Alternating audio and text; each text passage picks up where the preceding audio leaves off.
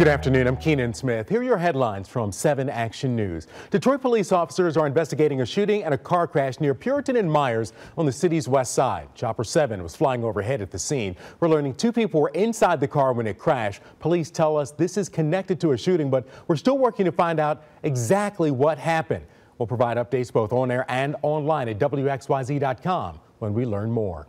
Well, an 18-year-old man has been charged with the murder of his girlfriend in Warren. Prosecutors say Kevin Dixon shot and killed 20-year-old India Mackey at a home on Shirley Avenue between 10 Mile and Hayes Tuesday evening.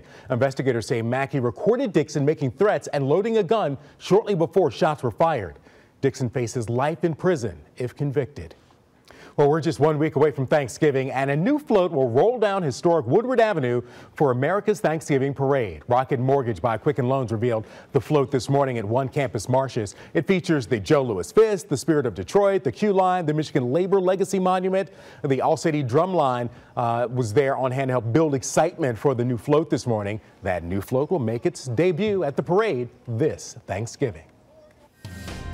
And we do have rain showers in the forecast for the afternoon, occasional into the evening before wrapping up around uh, 8 or 9 o'clock. It is going to be quite windy too, so south to southwest winds gusting as high as 30, 35. It's going to be a late day high though that we'll see near 50 degrees, so definitely a warm up for today. 34 the low tonight, cloudy with rain ending, and then 41 degrees tomorrow. It does look dry tomorrow with sunshine for the afternoon, dry for the evening, and just a very slight chance that we could get clipped by a system over the weekend south of Detroit but most areas stay dry. It's going to be cool, though. Highs only in the 40s this weekend. All right. Thank you very much, Allie.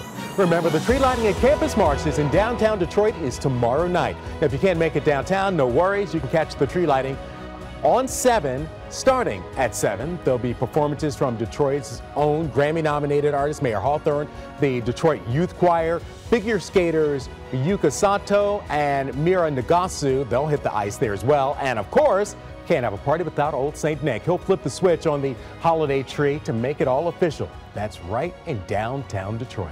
Well, those are your headlines from 7 Action News. Head to WXYZ.com and download the free 7 app for news anytime. I'm Keenan Smith. Have a great day.